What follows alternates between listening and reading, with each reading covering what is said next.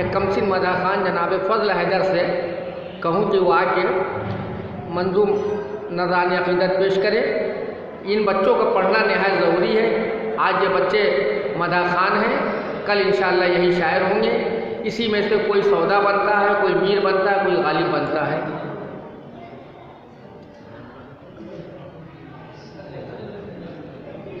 अय हुसैन इब्ने अली, रोज़ा तुम्हारा देख कर आ रहा हूँ मैं अभी जन्नत का नक्शा देख कर सारी दुनिया के अमीरों को पसीना आ गया।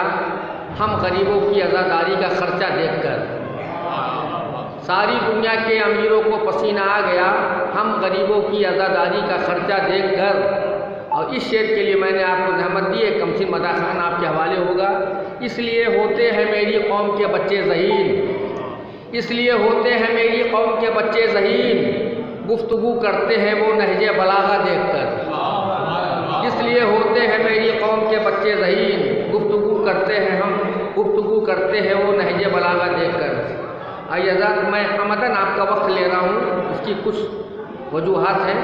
आबिद मिर्ज़ा मुन्ना भाई का इदार हुसैन साहब फैदाबादी का परवेद आलम साहब मुर्शिदाबादी का हम एक मरतबा फिर अरकान अदार अलकायम की जानब से इस्तेमाल करते हैं। फजल सल्लमों से मैं कहूँगा कि वहाँ आओ, बारगाह इमाम सज्जाद में नजरान अकीदत पेश करें। नारे सलवार पढ़ के बच्चों को बच्चे का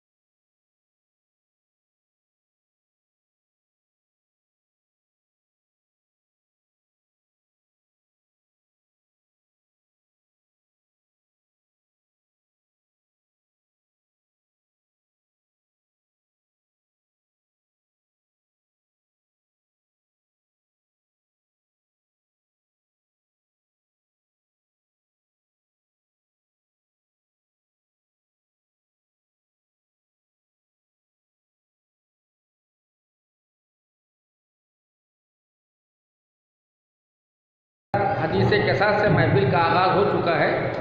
लिहाजा अब मज़ीद मैं फिर से आगाज़ करना नहीं चाहता। इसी सिलसिले को मैं अल्लाह मैं इसी सिलसिले को आगे बढ़ा देता हूँ। मैं आमदन दो तीन मिनट आपका ले रहा हूँ जो कि मौलाना मौसूफ को नौ बजे मेंबर पे अगर बिठाया जाए तो ज़्यादा बेहतर होगा। तब तक कुछ मुमनिन भी आ जाएँगे। हमारे दरमियान एक बहुत अहम शख्सियत है अख्तर नवाब साहब की। इनके बारे में लोगों को कम पता है कि ये ज़बान की फ़िक्र से वाकिफ़ है। और ये शेर भी कहते हैं, लेकिन इनके हाफजे के साथ थोड़ा सा मसला है, अपने कहे हुए शेर ये भूल जाते हैं। लेकिन ज़बान बहुत अच्छी है, ज़बान की फ़िक्र पे इनकी एक दस्तरद है। लिहाजा मैं चाहता हूँ कि अख्तर नवाब साहब को मैं जहमत सुखन दूँ। इन आप महसूस होइएगा कि देखिए मैं आपको जल्दी जल्दी कुछ शेर सुना दूँ। जब तक कलम ने ज़िक्र अली का नहीं किया, मैं चाह रहा हूँ कि महफिल बिल्कुल आप बेदार होकर सुने, फिर मौलाना मौसूद को सुनने के लिए आप बिल्कुल आमादा रहें। जब तक कलम ने ज़िक्र अली का नहीं किया, आमादा है तो?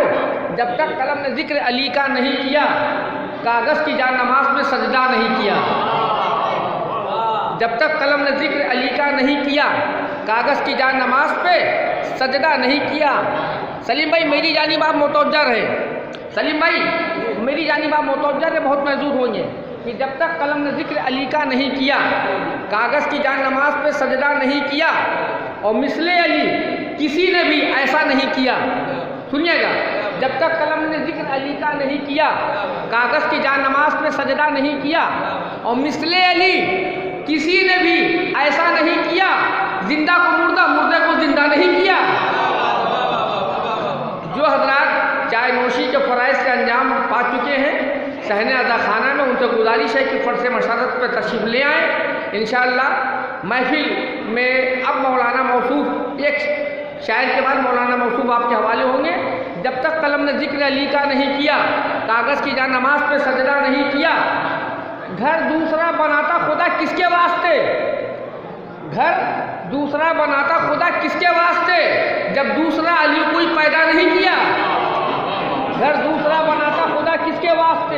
घर दूसरा बनाता खुदा। किसके वास्ते? जब दूसरा अली कोई पैदा नहीं किया और दीवान अली ने बना डाली जन्नतें। दीवान अली ने बना डाली जन्नतें, लेकिन कभी खुदाई का दावा नहीं किया। आखिरी शेर सुनिए, लेकिन कभी खुदाई का दावा नहीं किया। इस शेर को सुनिए, इस पर शायरी किए लेकर चरागे इसके अली अपने हाथ में। लेकर चरागे इस, इसके अली अपने हाथ में। हमने कहाँ हवाओं का पीछा नहीं किया? हमने कहाँ हवाओं का पीछा नहीं किया? आइए हजरात उर्दू ज़बान अदब से आशना एक शख्सियत जनाब अख्तर नवाब साहब से दरख्वास्त की जाए कि वो आएँ और आपसे मंजूम मुखातबा फरमाएँ। नारे सरवात से एक अदीब एक शायर का इस्तकबाल फरमाइए।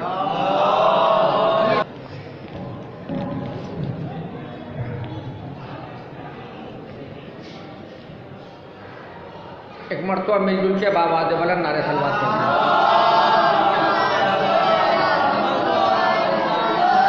अजमत आल मोहम्मद पर एक मरतबा सलवात पढ़ दें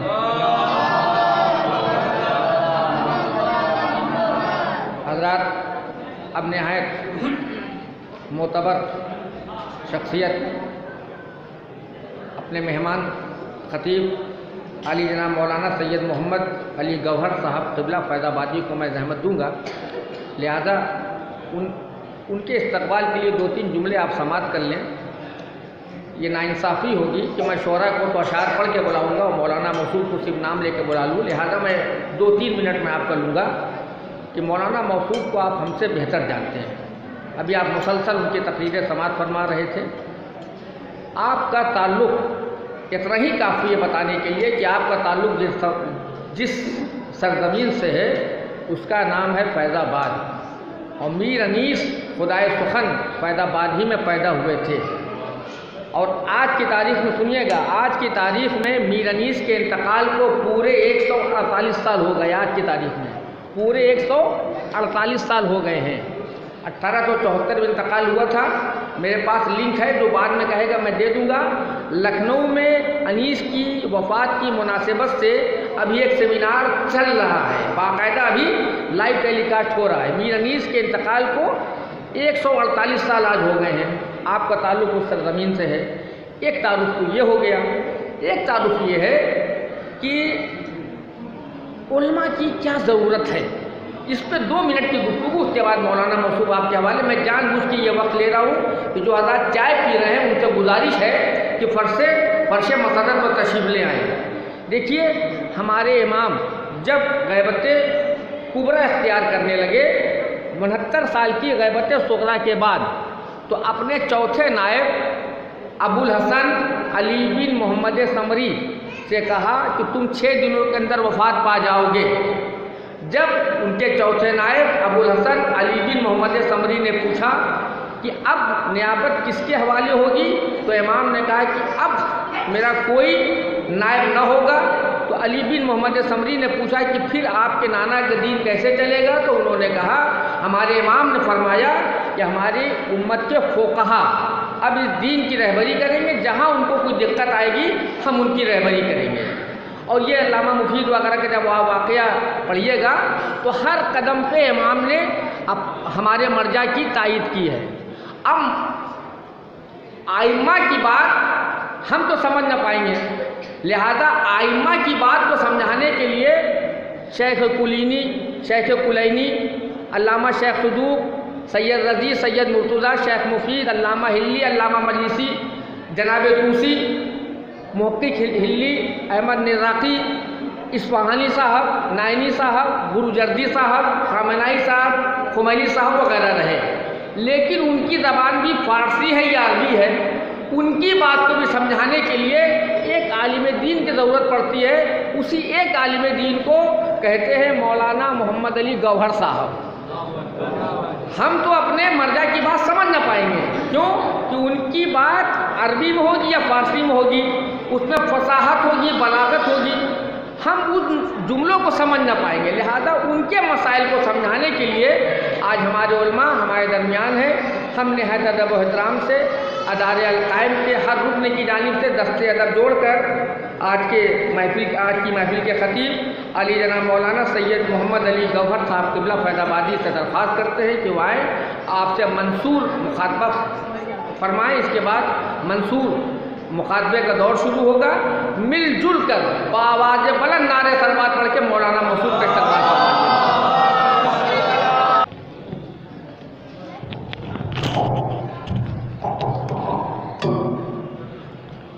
हजरात, अभी आप हमारे मेहमान ख़तीब आली जना मौलाना सैयद मोहम्मद अली गवर साहब किबला फैज़ाबादी से बेहतरीन मुसज्जा और मरस्ता तकरीर समाज फरमा रहे थे, जो आपने तकरीर के आखिर में कुछ ऐसी बातें कहीं कि जिस पर हमें अमल करने की ज़रूरत है। हजरात महफिल के आगाज़ ही में मैंने ऐलान कर दिया था कि आज का मकासदा आली जनाब मौलाना सैयद हसन मेहदी साहब किबला इमाम जुमा और जमात मस्जिद बसरावी के सदारत में होगा। मौलाना मौसूफ तशरीफ़ ला चुके हैं, अरकान अदार अलकायम आपका इस्तकबाल करते हैं। हजीरान ग्रामी हमारे देखिए तकरीबन तमाम शोर आ गए। अब हमें महफिल को तरकीब देने में कोई दुशारी नहीं आएगी और आप मेरी जानब से बिल्कुल इतमान रखिएगा। मैं मुख्तसर निज़ामत करने का आदि हूँ। मुंतजमिन ने मुझे एक वक्त दे दिया है। इन उस वक्त के अंदर मैं अपनी अपनी पूरी कोशिश करूँगा कि महफिल को आइंदा साल तक के लिए मुलतवी कर दिया जाए। कुछ तोहफे भी हैं जो बतौर कुरानदाजी आप तक पहुँचाए जाए, जाएँगे। लिहाजा मैं चाहूँगा कि तमाम लोग इसमें शरीक रहें। लिहाजा मैं मुख्तसर से निजामत करूँगा। आप इतमान रखिए। एक गुजारिश मेरी, जो हजरात कलकत्ता के बाहर से इस महफिल को समात फरमा रहे हैं, सुन रहे हैं, देख रहे हैं, उनसे मेरी ज़ाती गुजारिश है। चैनल वालों ने मुझसे कुछ नहीं कहा ये मेरा अखलाकी फरीदा है कि उन तमामी हजरात जो बैरून कलकत्ता से या दूसरे ममालिक से इस लाइव टेलीकास्ट को देख रहे हैं उनसे गुजारिश है कि कलकत्ता आज़ादारी को, के चैनल को लाइक करें सब्सक्राइब करें और शेयर करें। अपने तमाम मुतलकिन तक उसको शेयर करें। ये चैनल कलकत्ता की आज़ादारी महाफिल मजलिस सबको टेलीकास्ट करता है। आइए हजरात एक मेज़बान, हम आपका कतई वक्त अभी नहीं लेंगे, इसलिए कि शोरा माशाल्लाह आ चुके हैं। एक मेज़बान को मैं जहमत दूँगा, जो मेज़बान शोरा इधर, थोड़ा सा चले आए। बिल्कुल, शब्बीर साहब बिल्कुल सही कह रहे हैं। एक मरतबा सलवार पढ़ते हुए आ जाइए। सलवार जो पढ़ दिए मोहम्मद मोहम्मद पर। और जो हजरात सहन अदा खाना में है, उनसे भी गुजारिश है। प्रोफेसर अली इमरान साहब भी तशरीफ़ ला चुके हैं। अपने पाँव की तकलीफ़ की वजह से वो दूर बैठे, लेकिन महफिल को समाप्त फरमा रहे हैं। हजरात, एक मेज़बान को मैं जहमत दे दूँ, ताकि उनको मैं ज़रा सा फ्री कर दूँ। मेहमानों का इस्तकबाल भी उन्हें करना है? महफिल को आइंदा किस तरह से चलाना है, मुझे वो इंशाल्लाह बताएँगे। आइए बिला किसी तमीद के जनाब शब्बीर अली साहब को मैं जहमत दे रहा हूँ कि आएँ और बारगाह इमाम में मंजूर नजरान हफीदत पेश करें। नारे सरवाज से शब्बीर अली साहब का इस्तकबाल फरमाए, बेहतरीन मदाखा और शायर भी है। हजरात, ये शब्बीर अली साहब थे, अपने मजाहिया कलाम के लिए मशहूर हैं। और दामन वक्त तो गुंजाइश नहीं है, वरना मैं आपको बताता कि ये हमारे यहाँ मजाहिया कलाम का सिलसिला 400 साल पहले जाफ़र जकी से शुरू हुआ, जो माचिस, लखनवी और आज के दौर में बेताब हल्लौरी उस विरासत को संभाले हुए हैं। अजीदान ग्रामी मैं देखिए, अब चोरा आ गए हैं। मुमकिन है कि मैं दरमियान में कतई आपका वक्त मैं न लूँ नाम लेके शोहरा को मैं बुला लूँ, लेकिन ये अभी ज़रूरत है कि मैं ज़रा सा दो मिनट में आपसे गुफ्तु कर लूँ। ये वक्त मैं वो ले रहा हूँ जो मेरे हिस्से का बतौर शायर था। बस दो तीन मिनट, उसके बाद शायर आपके हवाले। देखिए, महफिलें दो तरह की होती हैं। सुनिएगा, कुछ मैं कहने की कोशिश कर रहा हूँ। नस और नज्म दोनों में इंशाल्लाह गुफ्तु होगी। रुशैद बूतराब असद कलकत्ती आमादा रहेंगे। देखिए, महफिलें दो तरह की होती हैं। एक होती है तरही और एक होती है गैर तरही। तो जो तरही महफिलें होती हैं, उसमें एक मिसरा दे दिया जाता है, जिसमें एक रदीफ होती है, एक काफिया होता है, एक बहर है, ज़मीन है। शोरा उसके पाबंद होकर शहर कहते हैं। और एक होती है तो मिसरे तरह जो दिया जाता है तो कभी कभी इसलिए भी दिया जाता है कि दूसरे को आजमाने के लिए देखिए मैं बहुत दोहरी बात आपसे कर रहा हूँ। दूसरे को आजमाने के लिए कि ये शेर कह सकता है कि नहीं, इस पर तजमीन लगा सकता है कि नहीं। और कभी कभी यहाँ से मेरी गुफ्तु शुरू हो रही है। और कभी कभी मिसरे तरह दिया जाता है किसी का दिल जलाने के लिए, किसी को सताने के लिए। अंग्रेज़ों का ज़माना था, अंग्रेज़ों ने उर्दू सीखी, एक कॉलेज कायम किया फोर्ट विलियम कॉलेज इमारत तो आपने 20 मरतबा देखा है, लेकिन आपको ये नहीं पता कि वो कौन सी बिल्डिंग कलकत्ता में है। मेरे पास पूरी तारीख है, लखनऊ और दिल्ली से जो प्रोफेसर आए उनका नाम भी उनके नाम भी मुझे याद है, मुझे उस तफसीली गुफ्तु में नहीं जाना है। लेकिन अंग्रेज़ों ने उर्दू सीखी। एक, बस यहाँ तो सुनिएगा, एक ईसाई था, उसने मुसलमानों का दिल जलाने के लिए एक मिसरा दे दिया। फलक पर हज़रत ईसा मोहम्मद सा बशर नीचे। फलक पर हज़रत ईसा मोहम्मद सा बशर नीचे। बस मिसरे तरह की तारीख है। मुसलमान खामोश जवाब नहीं दे पा रहे थे। एक गदीरी शायर उठा, उसने कहा कि तेरा चैलेंज कबूल है, तू अपना मिसरा पढ़। उसने कहा फलक पर हज़रत ईसा की उम्मत में था, लिहाजा हज़रत ईसा को हमारे नबी से अफजल समझता था। कहा फलक पर हज़रत ईसा मोहम्मद साहब बशर नीचे। गदीरी शायर ने कहा, ये दरियाए नबूवत है, हबाब ऊपर गोहर नीचे ये दरियाए नबूवत है ये दरियाए देखिए आप आमादा हो गए मैं अपने मकसद में कामयाब हो रहा हूँ उसके बाद शायद इंशाल्लाह बिल्कुल आपके सामने रूबरू रूबरू होंगे। ये दरियाए नबूत है, हबाब ऊपर गोहर नीचे। फिर एक मिसरा हम मौलाइयों को दिल जलाने के लिए दिया गया। हैदर कभी रुके नहीं मैदान जंग में। बताइए फातह खैबर खंदक वो अली जिसने सत्तासी या तिरासी गजबात फतह किए हों, उसकी शान में इतनी बड़ी गुस्ताखी। हैदर कभी रुके नहीं मैदान जंग में। हैदर कभी रुके नहीं कितनी बड़ी गुस्ताखी है, एक गदीरी शायर उठा का आपका मिश्रा पढ़, पढ़ा, हैदर कभी रुके नहीं मैदान जंग में। जवाब दिया बाद जिहाद, माल गनीमत के वास्ते हैदर कभी रुके नहीं। शुक्रिया शुक्रिया मोहब्बत है। बाद, आप आमादा हो गए। बाद जिहाद, आने वाले शोरा के लिए मैदान हमवार हो रहा है। बाद जिहाद, माल गनीमत के वास्ते हैदर कभी रुके नहीं। बाद जिहाद, माल गनीमत के वास्ते हैदर कभी रुके नहीं मैदान जंग में। एक मिसरा उड़ दिया गया। इतना चौपट मिसरा उलट के पलट के पलट के उलट के ये मिसरा उलट के पलट के पलट के उलट के और शर्त लगा दी गई कि मधा के शेर कह के दिखाइए। माशाल्लाह, हमारे यहाँ तो जहीन लोग होते हैं, ज़िंदा मजमा होता है और ज़िंदगी का ये सबूत, मरने के बाद भी ज़िंदा रहते हैं। इसमें इफाम दलील इस बात की तो जवाब दिया गया उलट के पलट के पलट के उलट के जवाब दिया गया, रसालत के जलवे इमामत में देखो उलट के पलट के पलट के उलट के रसालत के जलवे इमामत में देखो उलट के पलट के पलट के उलट के आइए हजरात, पूरी तारीख है, अब दामन वक्त में गुंजाइश नहीं है, कभी फिर इंशाल्लाह और मैं मिसरों की तारीख सुनाऊँगा। फ़िलहाल मैं दरख्वास्त गुजार हूँ, रुशैद बूतराब असद कलकतुई से, बेहतरीन शायर। साहिब करामत शख्सियत जनाब असद कलकतुई की हजरात बेहतरीन अशार से नवाज़ रहे थे, जनाब असद कलकतुई साहब।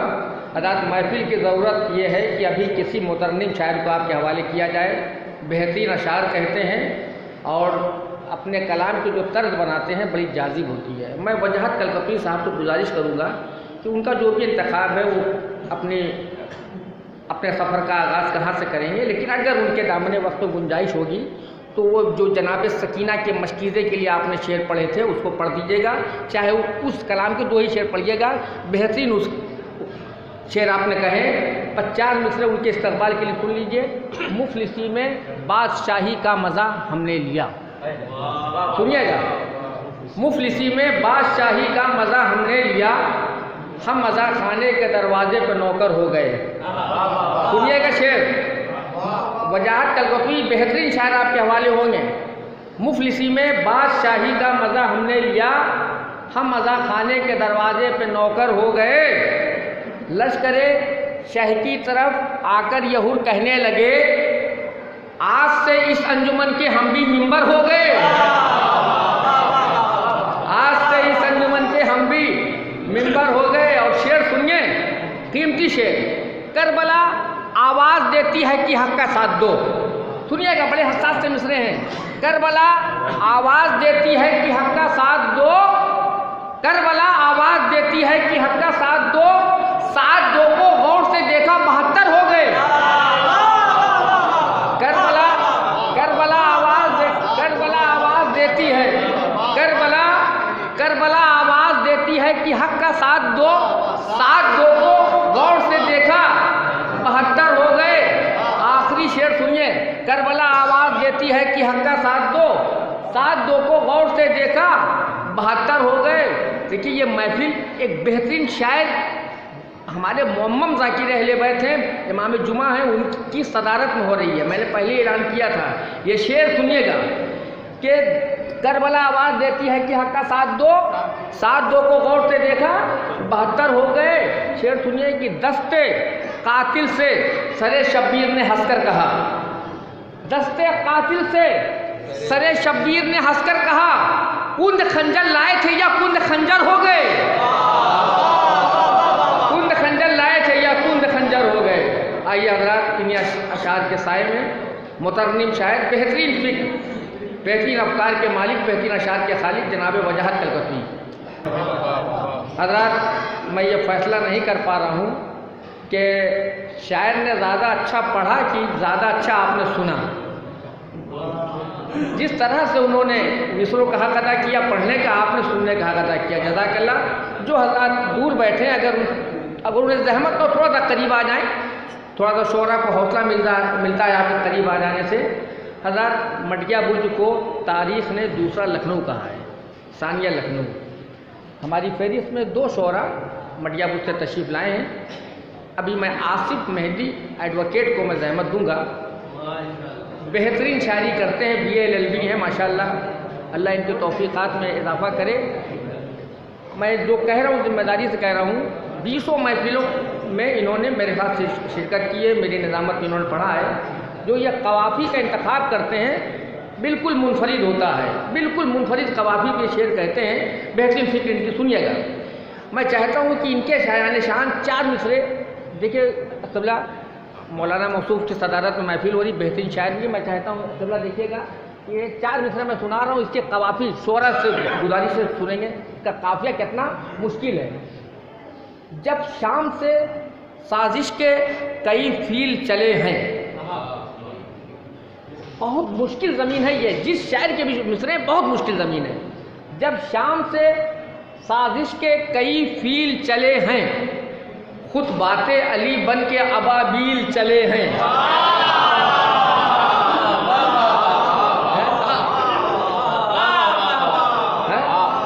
शोरा शोरा ताइफ फरमाएँगे कितनी मुश्किल ज़मीन है। जब शाम से साजिश के कई फील चले हैं, खुद शाम से साजिश के कई फील चले हैं। खुद बातें अली बन के अबा बील चले हैं। मंजिल न आज तक है मिली मधे अली की। इस राह में मीसम भी कई मील चले हैं।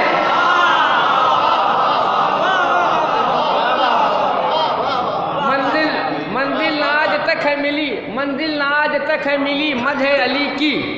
इस राह में मीसम भी कई मील चले हैं। क्या कहने क्या कहने? शाम कूफा सैद सज्जाद का, सहीफ़ा सैद सज्जाद का जब लिया जाएगा बदला सैद सज्जाद का।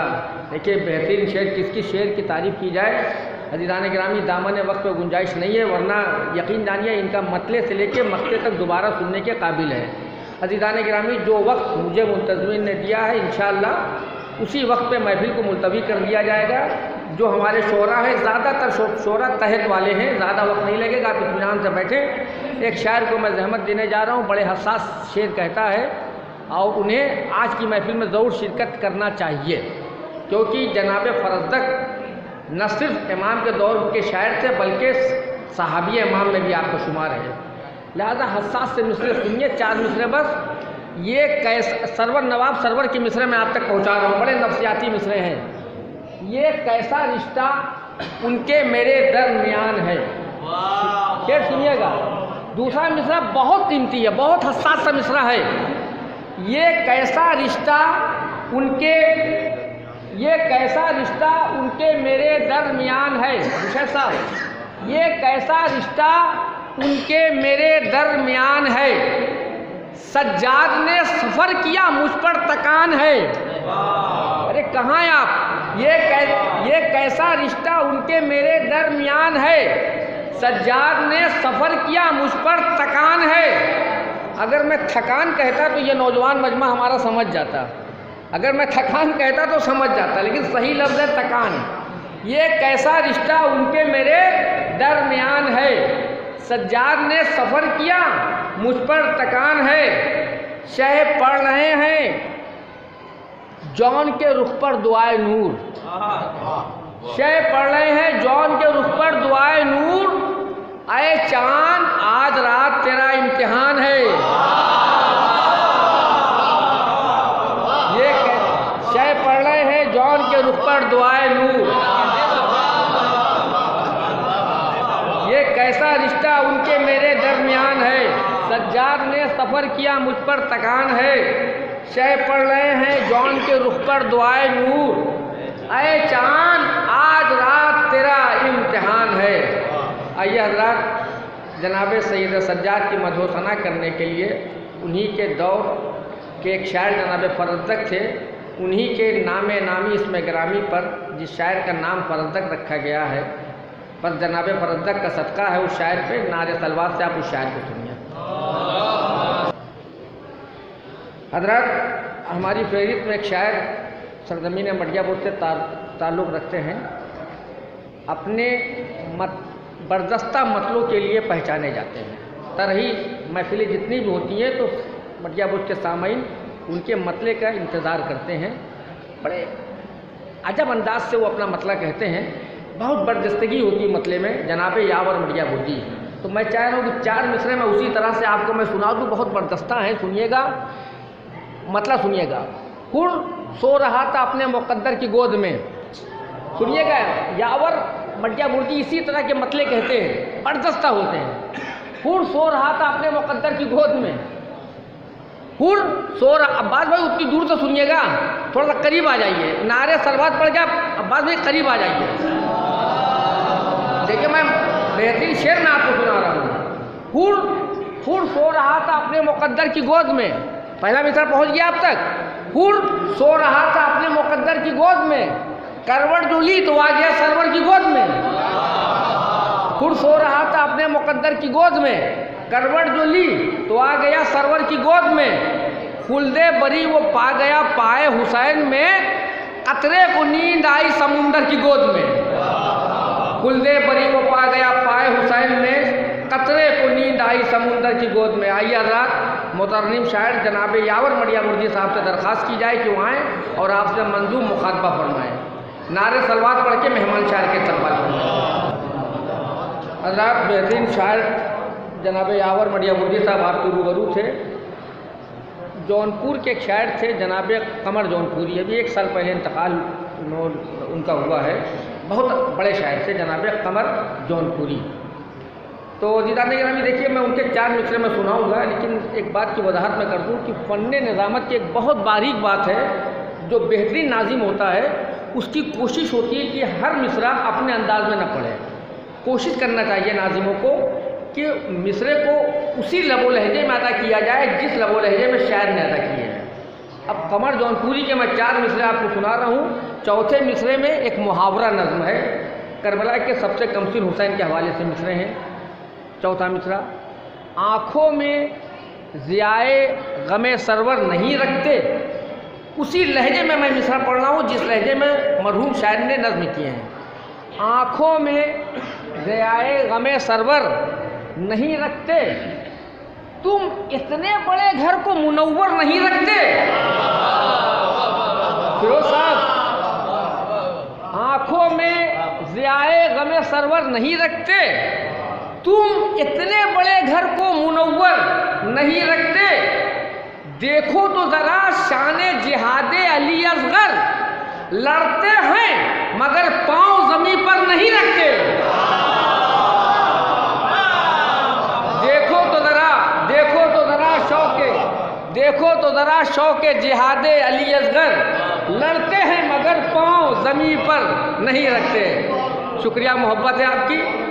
लड़ते हैं मगर पाँव ज़मी पर नहीं रखते। आइए हजरात, इन्हीं मिसरों के जेर साय में मैं जनाब कैफी कलकतवी बेहतरीन शायर, बेहतरीन आवाज़, बेहतरीन तरन्नुम, नारे सलवार से बेहतरीन शायर का इस्तेमाल करें। रहते देखिए, ये अदार अलकायम की महफिल है उसकी जानिब हो रही है। तो इसमें जितने भी मेम्बरान हैं, सब माशाल्लाह असरी तालीम से सब आरास्ता हैं। सब माशाल्लाह अल्लाह सबके तोफ़ीक़ात में इजाफ़ा करें। और ये मैं मुसलसल दो तीन दिनों तक मैं आया मजलिस में तो उन, लोगों से मेरी मुलाकात भी हुई। तो एक दो उसमें बाकायदा उर्दू के जानकार हैं अदब नवाज़ हैं। तो एक साहब उनके हैं उनका नाम ही अदीब है। वो ज़्यादा दूसरे इसी महफिल के इंतज़ाम में वो मसरूफ़ हैं। नाम ही अदीब है तो खुद अदब सरापा हैं।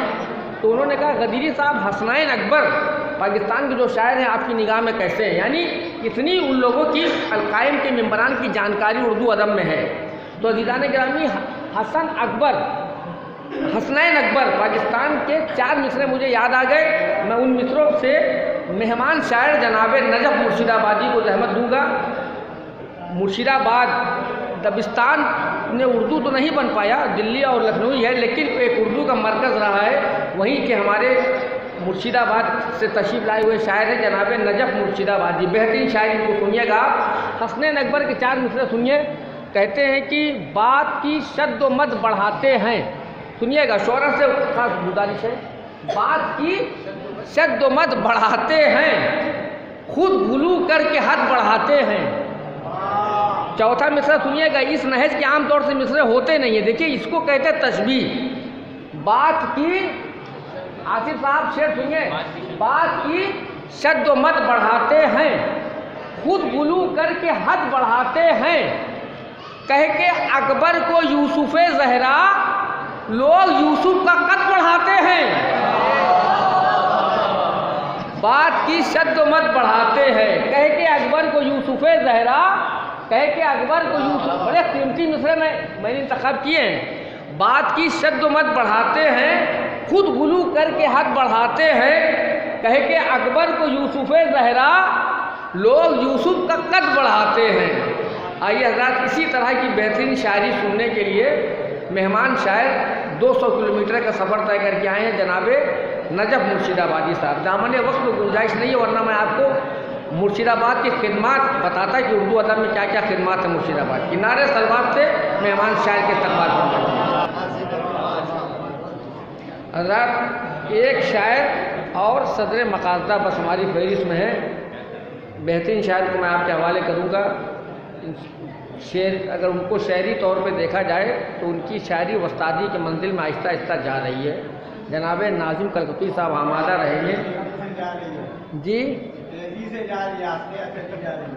नहीं साहब, वस्तादी के मंदिर में जाने के लिए थोड़ा वक्त लगता है। तो इसलिए मैंने आहिस्ता आहिस्ता कहा, मैं जोश में होश नहीं खोता, शायरी बड़ी बारीक चीज़ का नाम है, हुसैन आपके साथी कमाल के निकले। हुसैन आपके साथी कमाल के निकले, वफा की राह में सब ख्याल के निकले।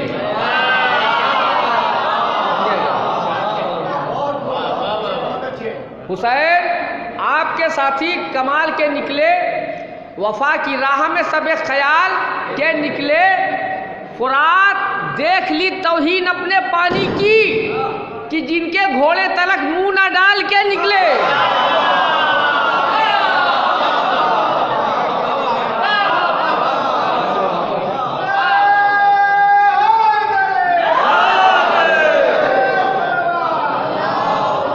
बस एक शेर और सुनाऊँगा बस बस एक शेर और सुनिए मैंने वादा किया था कि मैं मुख्तसर निजामत करूँगा तो मैं अपने वादे पे कायम रहूँ। हुसैन, आप बस एक शेर सुन लीजिए। हुसैन, आपके साथी कमाल के निकले, वफा की राह में सब ख्याल के निकले। फुरात, देख ली तोहीन अपने पानी की, कि जिनके घोड़े तलक मुँह न डाल के निकले। ये किस मिजाज के कैदी हैं कैद खाने से? ये ये किस मिजाज के कैदी हैं कैद खाने से? यजीदियत का जनाजा निकाल के निकले।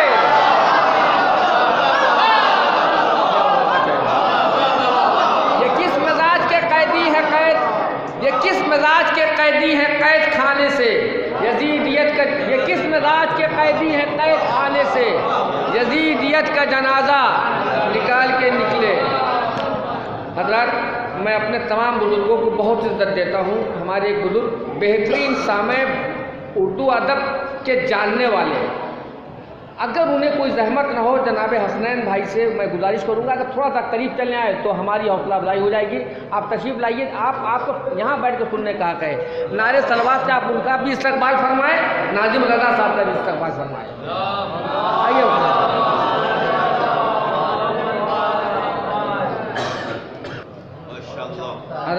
बेहतरीन अशार से जनाब नाजुम कलकतवी आपको नवाज़ रहे थे। देखिए, मैं अपनी बात पर कायम हूँ। मैं, मुझसे कहा गया था, गदीरी भाई, इतने वक्त के अंदर महफिल समेट दीजिएगा। तो जो वक्त हमें दिया गया था, वही वक्त है ये।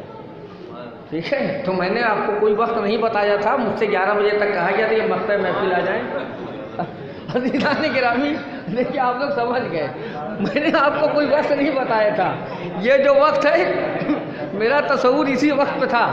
अब सुन लीजिए, मैंने हसनैन भाई को जो बुलाया है तो वो ये ना कहें कि हम बुला तो लिया, कुछ सुनाया नहीं। देखिए, मैं आपको एक तबरुक सुना रहा हूँ सुनिएगा कल कमर जोन, कल वस्ताद कमर जौनपुरी के हवाले से बात हो रही थी, इंशाल्लाह सुनिएगा। देखिए, ये जो वक्त है ना, ये मेरे पढ़ने का था। इसलिए कि जितने शोरा हैं, सब हमसे उम्र में कम है। और उम्र में हमसे, मैं सबसे बड़ा हूँ तो मुझे इस वक्त पढ़ना चाहिए था। मैं अपने हिस्से का कलाम नहीं पढ़ रहा हूँ। मैं आपको तबरुक दे रहा हूँ। वस्ताद अमर जलालवी के। दो बन मैं आपके हवाले कर रहा हूँ, बहुत बड़ा शायर। इनके अगर इनके इनके सवानियात मैं अगर बताऊँ तो एक घंटा लगेगा। बस सुन लीजिए, इनके दो बन सुन लीजिए। जनाब और मोहम्मद के हाल के इन्हों का, इन्होंने मिश्रा कहा है, इन्होंने मरसिया कहा है। बस दो बंद मैं सुना रहा हूँ, फिर साहब सुनिएगा। पहला बंद है, शब आशूर, बीबी जैनब, अपने बच्चों को समझा रही हैं कि कल किस तरह से जिहाद करना है। और दूसरा बंद उस वक्त का है कि जब ये शहजादे मसरूफ़ जिहाद थे और शिमर मलून से इनका मुकालमा हुआ एक डायलॉग हुआ। सुन लीजिए। बीवी बच्चों को कल के लिए आमादा कर रही हैं। वो रन पड़े कि नज़र आए खून के धारे। वस्ताद कमर जलालवी, बहुत बड़ा नाम उर्दू शायरी का है। वो रन पड़े, जनाब जैनब सलवातुल्लाह बच्चों को समझा रही है। वो रन पड़े कि नज़र आए खून के धारे। बलन ताबा फलक हो लहू के फौवारे। सुनिएगा, वो रन पड़े कि नज़र आए खून के धारे। बलन ताबा फलक हो लहू के फौवारे। तमाम कूफे में हलचल हो खौफ के मारे। बस दो बन सुनाना है। वो रन पड़े कि नज़र आए खून के धारे। बलन ताबा फलक हो लहू के फौवारे। तमाम कूफे में हलचल हो खौफ के मारे। दिखाई देने लगे फौज शाम को तारे। बैठ सुन लीजिएगा। अब बैठ सुनिएगा बैठ वो रन पड़े की नज़र आए खून के धारे बलन ताबा फलक हो लहू के फौवारे तमाम कूफे में हलचल हो खौफ के मारे। दिखाई देने लगे फौज शाम को तारे। किसी तरह की कमी कत्ले आम में न रहे। कोई चिराग जलाने को शाम में न रहे। किसी तरह की कमी किसी किसी तरह की कमी, किसी तरह की कमी कत्ले आम में न रहे, कोई चिराग जलाने को शाम में न रहे। इसके पास बीस बंद और है, लेकिन बस एक आखिरी बंद पढ़ रहा हूँ कि जब रोज़ आशूरा दोनों शहजादे मसरूफ़ जिहाद थे शिम्र की निगाह पड़ गई। अब सुनिएगा। किसी तरह की कमी कत्लेआम में न रहे, कोई चराग जलाने को शाम में न रहे। जो शहजादी ने समझाया, शहजादों ने उस पर अमल किया। किसी तरह की कमी कत्लेआम में न रहे, कोई चराग जलाने को शाम में न रहे। सिर्फ़ मिश्रा सुनिए, ये बच्चे शिम्र की जानब जो ना नागहाँ आए, दौराने जाए ये बच्चे शिम्र की जानब, ये बच्चे शिम्र की जानब जो ना नागहाँ आए तो उसने पढ़ के कहा, तुम यहाँ कहाँ आए? ये बच्चे शिवने की जानब जो ना कहाँ आए तो उसने पढ़ के कहा, तुम यहाँ कहाँ आए? जहाँ ना खौफ से रुस्तम से पहलवा आए। कहा, ये बच्चों ने हम खेलने यहाँ आए। बैठ सुन लीजिए बैठ सुन लीजिए। ये बच्चे सिमर की जानब जो ना कहाँ आए तो उसने पढ़ के कहा, तुम यहाँ कहाँ आए? जहाँ ना खौफ से रुस्तम सा पहलवा आए। कहा, ये बच्चों ने हम खेलने यहाँ आए। जो पूछा, नीमचों को बोले, इनसे काम भी है। हमारे खेल का एक नाम कतलेआम भी है। पूछा, जो पूछा नीमचों को बोले, इनसे काम भी है। हमारे खेल का एक नाम, कतलेआम भी है। आइए हज़रत, इन्हीं अजीम मिसरों के जेर साया, इमाम जुमा और जमात आज के सदर मकासदा और बेहतरीन शायर। बहुत, जब शेर कहने पे आते हैं तो बहुत रवानी से जुदगोई से शेर कहते हैं। नहायत अदब एहतराम से, अदार अलकायम के हर रुकन की जानब से दस्ते अदब जोड़कर मौलाना मौसू सैयद हसन मदी साहब किबला इमाम जुमा और जमात से दरख्वास्त गुजार हूँ कि वो आएँ, अशार भी पढ़ें, आपसे मुखातबा भी फरमाएँ साल गुजश्ता तक के लिए महफिल को मुलतवी करने का ऐलान भी करें। अब मैं बदू ज़िम्मा हो जाऊँगा, मौलाना है सदर मकासदा आप हैं नारे सरवास्ता मौसू का इस्तेमाल करूँगा।